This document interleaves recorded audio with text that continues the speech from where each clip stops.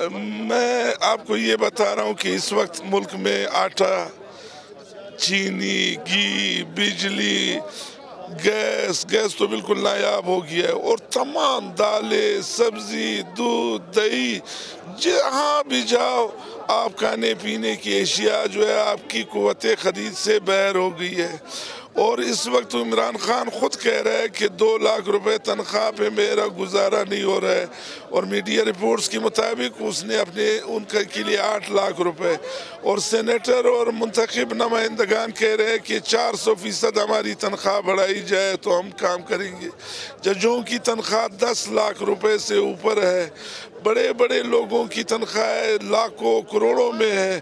اور مزدور پندرہ ہزار بیس ہزار روپے پہ کس طرح گزارا کر سکتے مسئلہ سرکاری ملازمین کی اپنی جگہ ہے کہ اس کی تنخواہ اگر چار سو فیصد بھی ہو جائے تو گزارا مشکل ہے۔ ان لوگوں کا کیا بنے گا جو صبح چھ سو روپے دیاری کے لیے نکلتے ہیں؟ وہ کس طرح مکان میں رہیں گے؟ وہ کس طرح بجلی کا بل دیں گے؟ وہ کس طرح خوردوان نوش حاصل کریں گے؟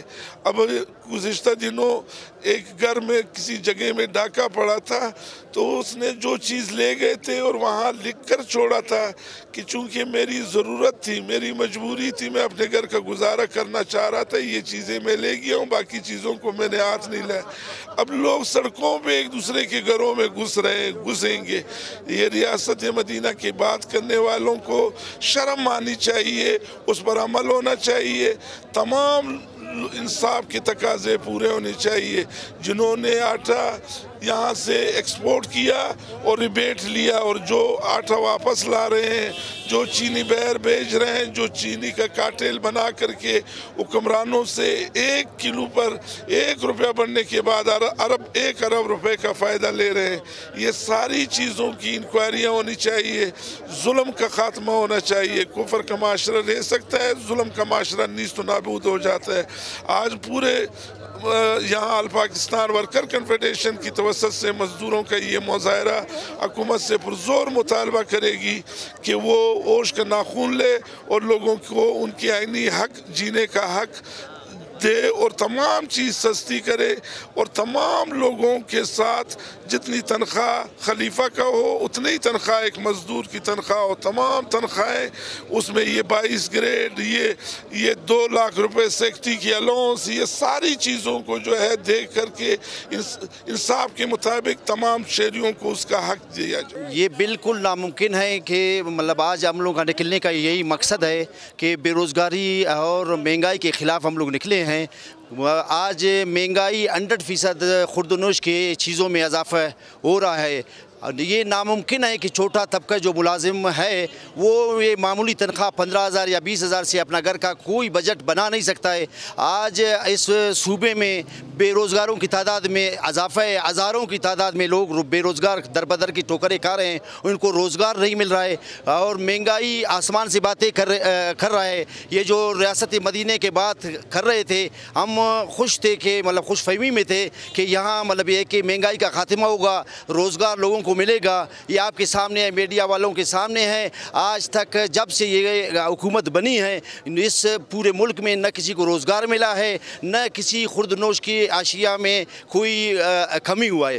آج آپ نواز شریف کے ٹائم پہ گندم کے فی بوری چار ہزار روپے کا ملتا ملتا تھا۔ آج ستر روپیہ کلو آٹا ہے اور پچپن روپیہ چینی کی قیمت تھا۔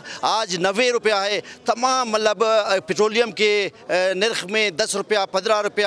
آٹھ روپیہ کے حساب سے اضافہ کیا گیا۔ پیٹرول کا قیمت آج ایک سو ستارہ روپیہ ہے۔ اور بریکنگ نیوز میں آ رہا تھا، آج امکان ہے کہ پیٹرول سستا ہو رہا ہے۔ ہم لوگ خوش خوش فہمی میں تھے۔ جب اعلان ہو گیا چھ پیسہ سستا۔ چھ پیسہ سستا مطلب یہاں اس ملک کے عوام کے ساتھ کھلا مذاق ہے۔ آج ہم لوگ نکلے ہیں کہ مہنگائی اور بے روزگاری کے خاتمے کے لیے مظاہرہ کر رہے ہیں اور ہم حکومت سے مطالبہ کرتے ہیں۔ جو وعدے آپ نے کیے تھے ریاست مدینہ کے حوالے سے، آج آج اس وعدوں پر آپ عمل کرو، آج سینٹ میں لوگ اپنے تنخواہوں کے لیے چار سو فیصد اضافے کے لیے مطالبہ کر رہے ہیں۔ اور ممکن ہے ان کا چار سو فیصد تنخواہیں بڑھیں گے۔ اور سابقہ گورنمنٹ میں بھی ان کے تنخواہوں میں مطلب دو سو فیصد اضافہ ہو گئے۔ لیکن مزدور کے تنخواہوں پہ دس فیصد کے لیے بھی مطلب وہاں مطلب یہ لوگ سوچتے ہیں، دس فیصد بھی تنخواہیں نہیں بڑھتے ہیں۔ آج جو تنخواہ دار طبقہ ہے، وہ در پدر کی ٹوکرے کھا رہا ہے۔ غریب غریب غریب سے غریب تر ہو رہا ہے۔ اور امیر دن پدر امیر جی سے امیر تر ہوتا جا رہا ہے۔ بہت مہربانی اللہ آج کا مظاہرہ ہے نا، مہنگائی، بے روزگاری، لاقانونیت اور ہمارے جو وابڈا کے کارکن ہیں، ان کے عدم تحفظ کے حوالے سے جو ہے نا، آج ہم باہر نکلے ہیں۔ تو ملک میں دیکھیں آپ پورے صوبے میں اور پورے ملک میں جو ہے نا، جس قسم کا مہنگائی ہے اور جس قسم کی بے روزگاری ہے، آج آپ جو ہے نا پٹرول کی قیمتیں لے لیں، ڈیزل کی قیمتیں لے لیں۔ دوسری جو ہے نا اشیاء خرد و نوش کی قیمتیں لے لے، وہ آج ایک غریب کی پہنچ سے بالکل دور ہو گئے ہیں۔